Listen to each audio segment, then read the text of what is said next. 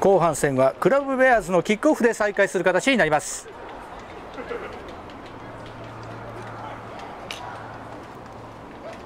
クラブベアーズキックオフキッカーは87番の雪田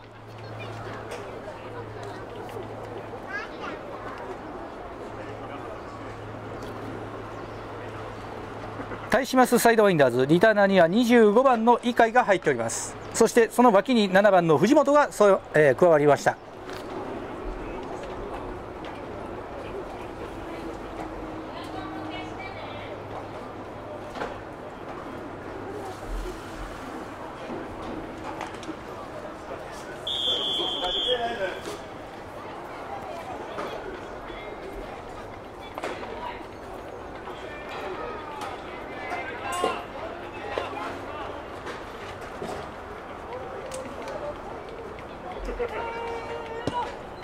さあスクイブキックを展開しました。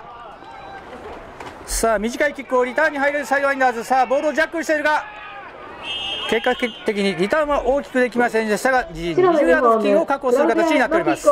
試合試合再開さあまずは巧みな雪田のキックオフにより陣地有利な形でサイドワインダーズ攻撃に攻撃を譲渡する形になりました。クラブベアーズしかしサイドワインダーズ好調の攻撃を展開しております。自陣24ヤードからの攻撃後半戦もその攻撃展開できるでしょうか。サイドワインダーズ自陣24ヤードからファーストダウン10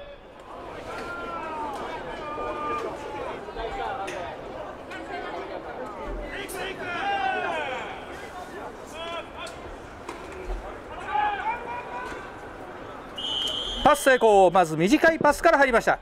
パス成功。右に1人だけ展開したワイドレシーバー。12番にパスを通しましてまず3ヤード確保しています。ワイドレシーバー12番。田原一輝選手のパスが成功。3ヤードのゲイン。サイドワインダーズセカンドダウン。サイドワインダーズセカンドダウン7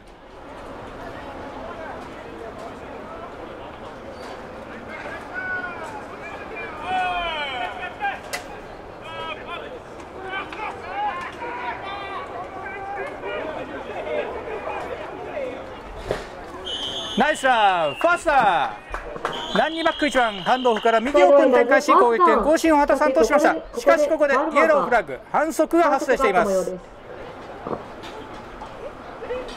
さあこのイエローフラッグは果たしてどちらのチームにあったでしょうか。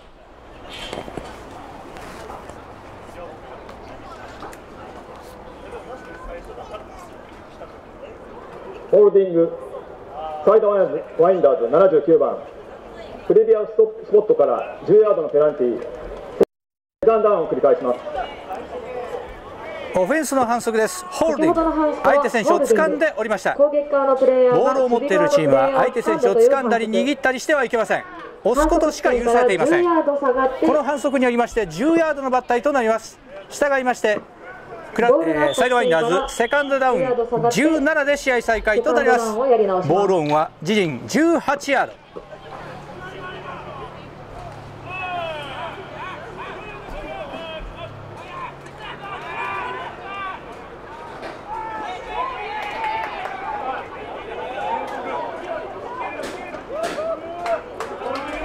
ナイスランファースタークォーターバック11番ここでパスを投じようと下がりましたがプレッシャーを感じカバーを見計らってスクランブル急遽ランプレーに切り替えました。緊急発進のランプレーでしたが相手の裏をつきまして大きなゲインとなりまして攻撃権更新です。サイドワインダーズファースター。素晴らしい判断で攻撃権更新を果たしました。サイドワインダーズクォーターバック18番を渡辺。さあこの好判断によりまして攻撃息を吹き返しましてのサイドワインダーズファーストダウン10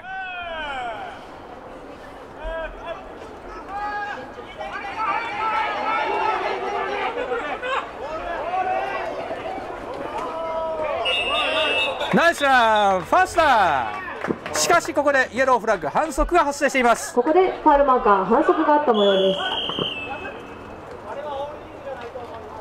す。さあここでサイドワインダーズ1番の素晴らしいランプレーがありましたがこのイエローフラッグ反則は果たしてどちらのチームにあったでしょうか反則あ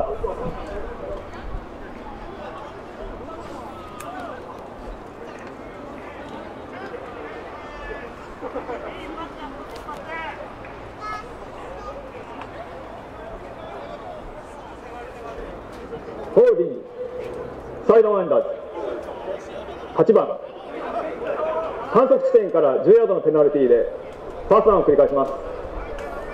オフェンスチームホールディングの反則がありました。今度はレシーバーがブロックの際相手選手を掴んでいた模様です。反則発生がありました時点からの10ヤード抜体という形でファーストダウンやり直しとなります。かなり前進した位置でしたが結果的にはファーストダウン7の状況で試合再開。サイドワインダーズファーストダウン7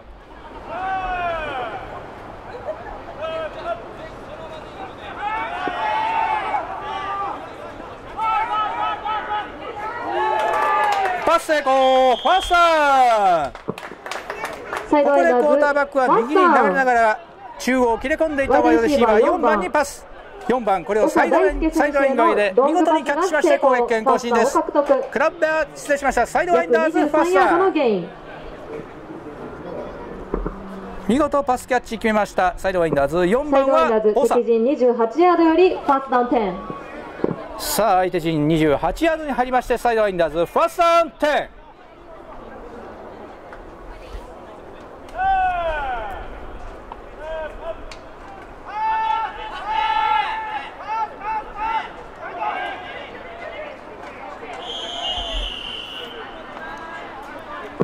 ここでクォーターバック18番右に流れてターゲット探しましたがプレッシャーありましてパスを投げられず外へ出ました。1ヤード結果的にロスという形でセカンドダウンに変わります。集まりが早く1ヤード下がっていますサイドワインダーズセカンドダウン。サイドワインダーズセカンドダウン。11ボールオン相手陣29ヤード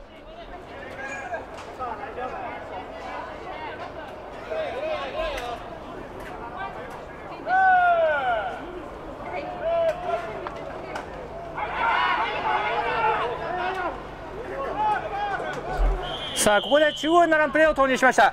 何枠1番。倒れ込むに中央に飛び込みまして約9ヤードのゲイン。孝太郎選手の中央プレー。10ヤードのゲイン。10ヤードのゲインとしています。ファーストダウン獲得まで残り1ヤード。何枠1番は奥谷。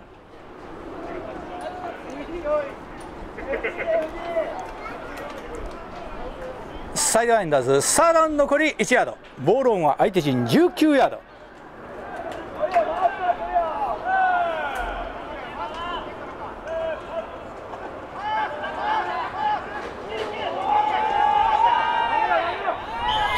QB さあここでクォーターバック下がりましたところ。クラブベアーズ66番が猛追。逃げ惑う18番をそのまま一気に倒しまして大きなロスを奪うことに成功しました。素晴らしい QB サックを決めました。クラブベアーズ66番は斉藤。サイドワインダーズフォースダウン。サイドワインダーズフォースダウンロングの状況に変わります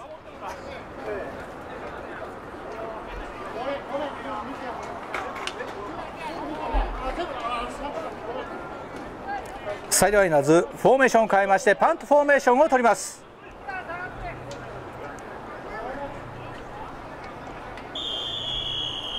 ここでホイッスル。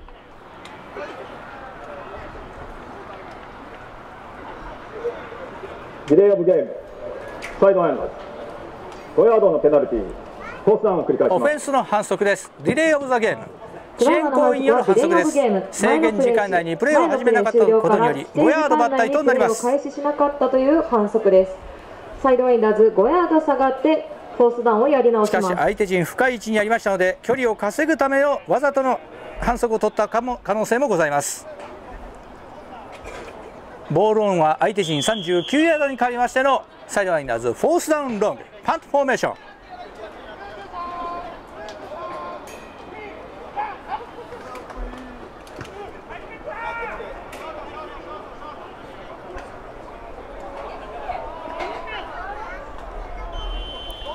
このパントはエンドゾーンに入りましてタッチバックとなります。ここでパントがエンドゾーンに入ってのタッチバックの場合には攻撃権は相手陣に変わりまして相手チーム自陣20ヤードからの攻撃と変わります。サイドワインダーズ後期でした。後期でしたがしかし結果的に無得点で攻守交代となりました。さあこれを逆にクラブベアーズ生かすことができるでしょうか。後半最初の攻撃シリーズにクラブベアーズ入ります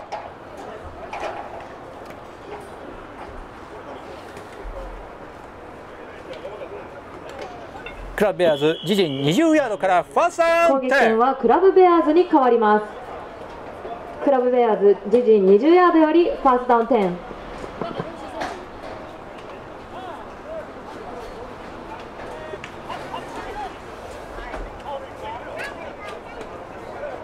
パス不成功。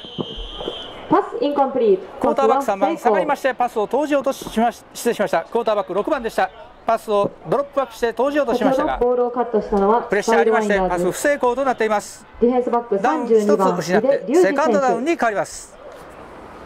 クラブベアーズセカンドダウン。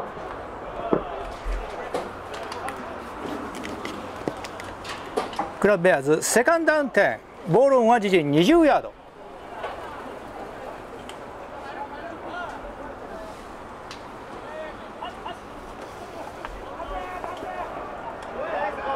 キュービーサーク QB サーク。クォーターバック6番再び下がりましてパスを投じようとしましたがそれを見計らってサイドワインダーズ7番0番が吸収しまして約9ヤードのロス QB サックを奪うことに成功しています。素晴らしいプレーで QB サックを覚えました。サイドワインダーズ0番は工芸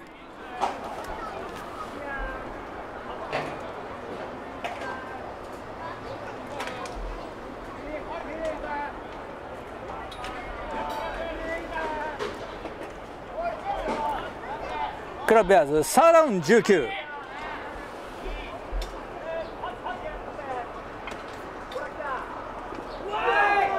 パス不成功。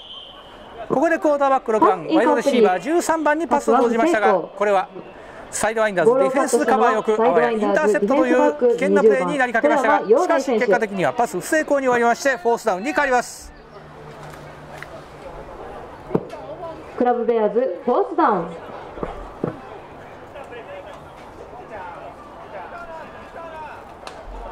クラブベアーズフォースダウンロングパントフォーメーションを選択します。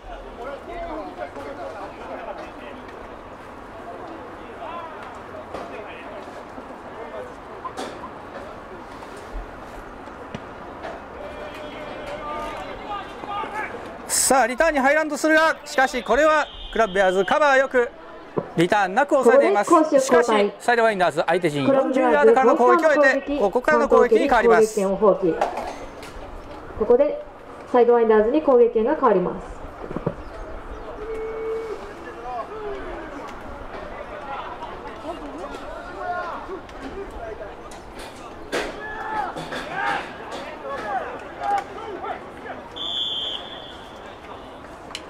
攻守変わりましてサイドワインダーズ相手陣40ヤードからのファーストダウン10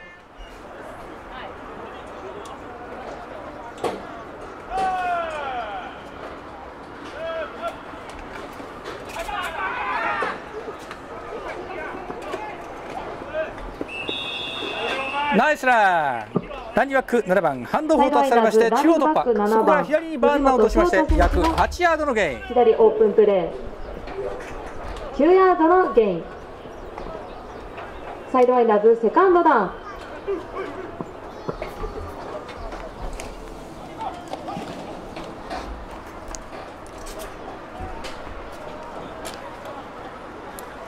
ラブベアーズセカンドダウン残り1ヤード。ボールオンは相手陣31ヤード。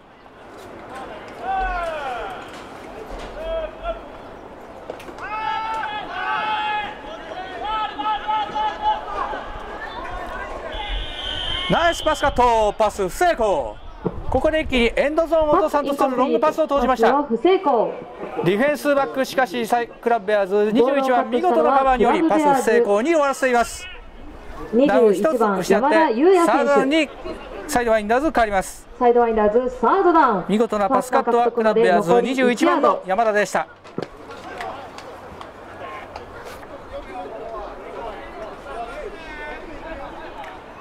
サイドワインダーズサードダウン残り1ヤード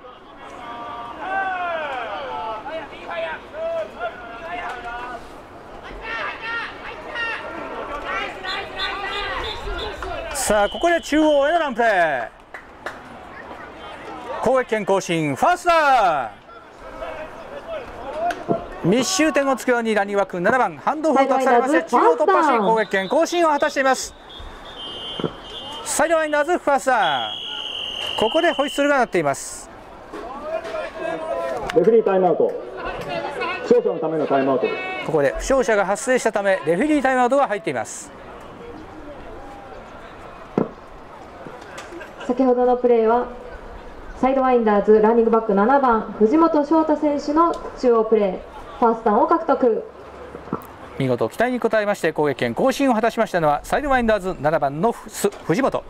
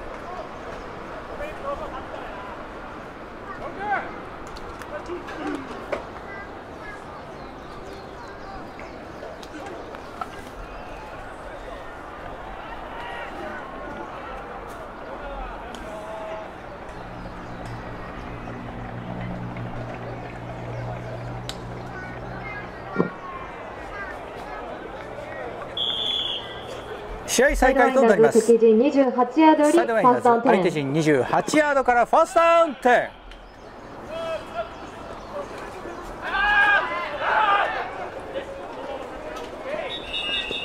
さあランニングバック7番に託しまして左オープンへのランプレー。見事なスピードになりまして攻撃権更新です。サイドワインダーズファーストダウンランニングバック7番ここに来てランニングバック7番藤本のランプレーによってサイドワイナーズ着実に陣地を押し上げていっております。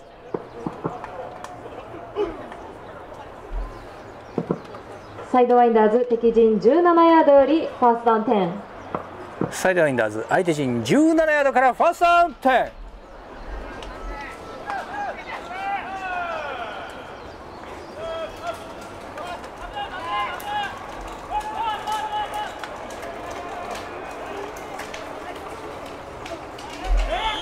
パス通りまして約6ヤードゲイン。ターゲットは26番。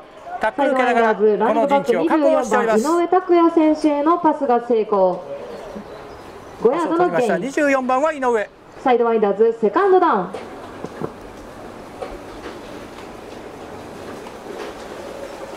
サイドワインダーズセカンドダウン5ボールオン相手陣12ヤード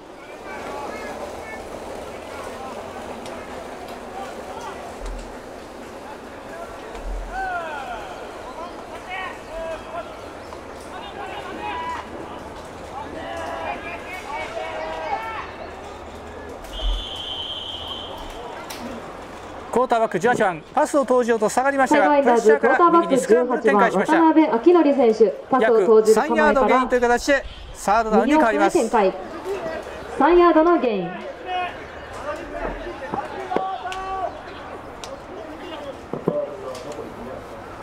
サイドワインダーズサードダウン。ファーストダウン獲得まで残り2ヤード。サイドワインダーズサードダウン残り2ヤード。ボールオンは相手陣10ヤード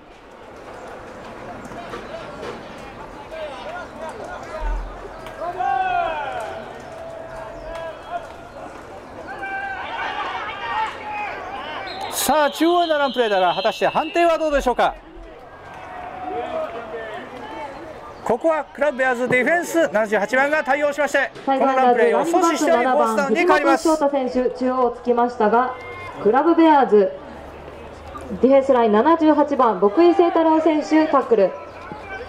クラブベアーズ78番は牧井。ただいまのプレーはノーゲイン。サイドワインダーズフォースダウンサイドワインダーズフォースダウンでフィールドゴールトライ。キックレングス26ヤード。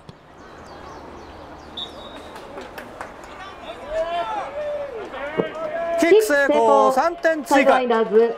キッカー0サイドワインダーズ22番。22点ククラブベアーズ功3点となりました。サイドワインダーズさらに3点をこの攻追加撃をサイドワインダーズ0番攻撃のフィールドゴールによりまして得点を3点追加しましてリードを広げる形になっております。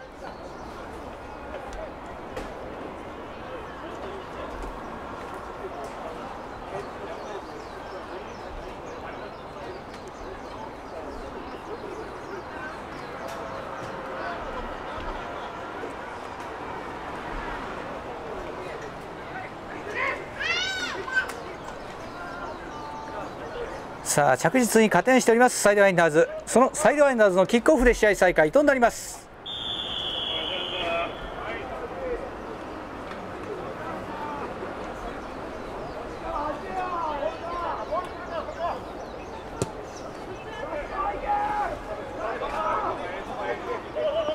さあベアーズリターンに入った。リターナー7番。ここで攻守右交代。サイドライン際駆け上がるように自陣20ヤード付近の攻撃位置を確保しています。そのボールをクラブベアーズリターナー7番。杉田忠親選手が約10ヤードクラブベアーズリターナー7番は杉田でした。権はクラブベアーズに変わります。クラブベアーズ自陣22ヤードよりファーストダウンクラブベアーズ自陣22ヤードからファーストダウン10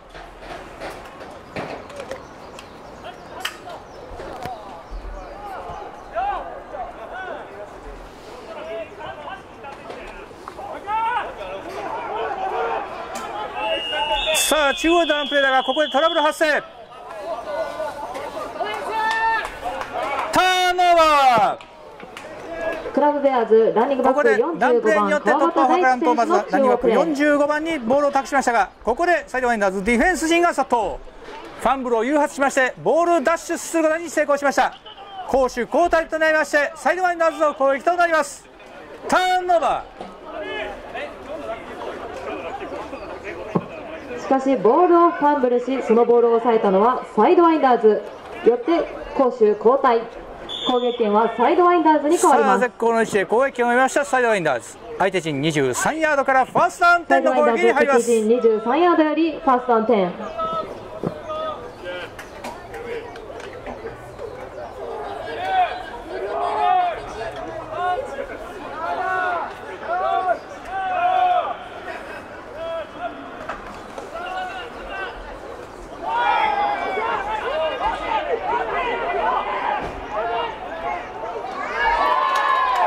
パス成功タッチダウンサイドワインダーズタッチダウン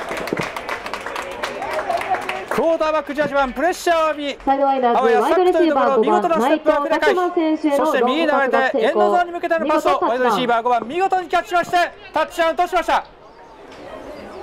トライフォーポイントに入ります。サイドワインダーズ6点獲得。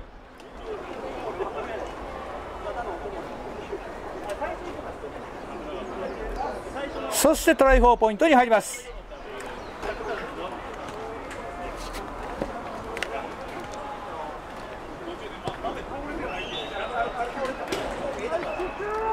キック成功1点追加。サイドワインダーズ29点クラブベアーズ3先ほどのタッチ点サイドワインダーズクォーターバック18番渡7点辺をそしてワイドレシーバー5番内藤の素晴らしいホットラインによりましてさらなるタッチダウンを上げる形に成功しております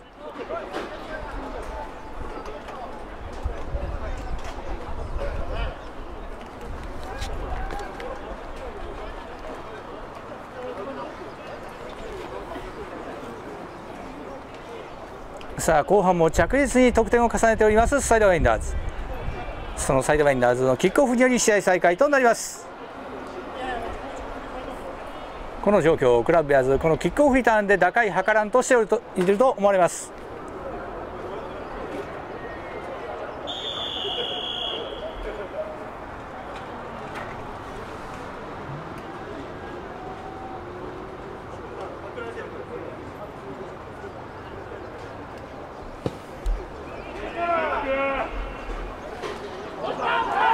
リターンに入った。21番。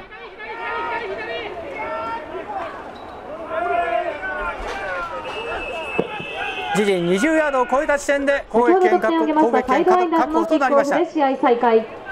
クラブベアーズリターナー21番山田裕也選手。リターナー70、えー、21番は山田ヤードリターン。クラブベアーズ自陣23ヤードよりファーストダウン10クラブベアーズ自陣23ヤードからファーストダウン10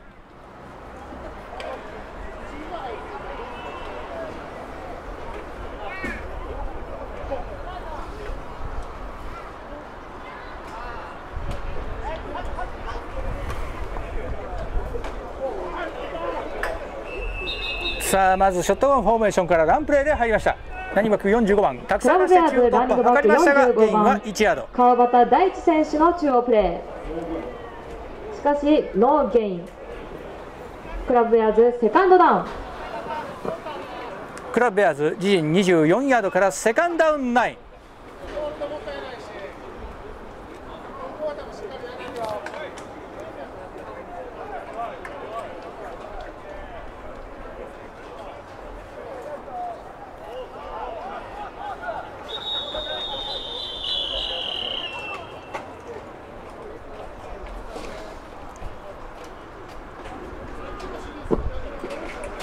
ここで第第3クォーター終了。ここで第3クォーター終了です。NFA 日本社会人アメリカンフットボール協会主催第69回西日本社会人アメリカンフットボール選手権大会グリーンボールジュニアトーナメント交流戦サイドワインダーズ対クラブベアーズの試合は第3クォーターを終えて29対3、29対3でサイドワインダーズがリードしています。